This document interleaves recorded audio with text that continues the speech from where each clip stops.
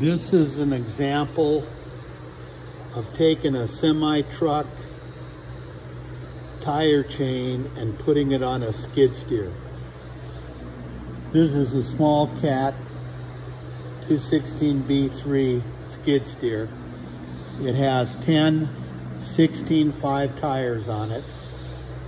I had a, a set of chains that were made that came off an F-250 Super Duty 07 Ford pickup. And I put them on this particular unit.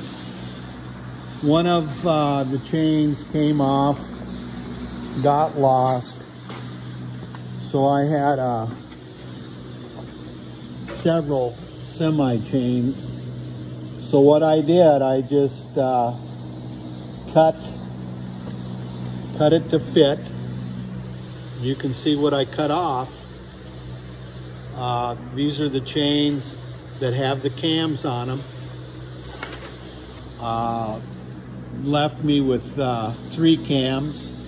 I use the uh, bungee straps as uh, tighteners. All things considered, if you're looking for a cheap way to put chains on a skid steer, this might be a consideration. This isn't a how-to video. Don't take my advice. You'll probably probably screw it up. But this works for me. It turns it turns a skid steer into a monster. I uh, moved a lot of snow, and it really works well. Hope that this helps. Maybe somebody will find it useful and interesting. Thank you.